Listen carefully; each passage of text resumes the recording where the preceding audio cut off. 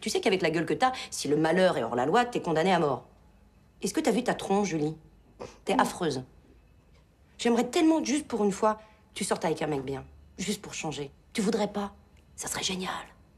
Tu vois un mec qui serait simple, un mec discret, normal. Regarde le mien. Regarde-moi ça. Est-ce que il a une tête de con, lui?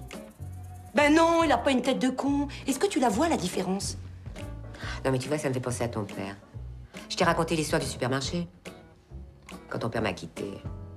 Je suis désolée, chérie, mais c'est vraiment une grosse merde, ton père. Maintenant que c'est terminé, ma petite chérie, je te le dis. Il a essayé de me sauter. Bref, mieux vaut que ça t'arrive sans enfant, parce qu'après 20 ans de mariage et de môme sur les bras, je ne dis pas ça pour toi, ça te fout vraiment une vie en l'air. Mais j'ai un numéro super pour toi.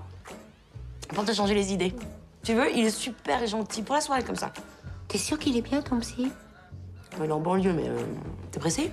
Non, lui, il est super Attends, je te vois sa fiche, tu l'appelles de ma part. Il est super. Je sais pas, il se passe des choses quand même un petit peu plus graves.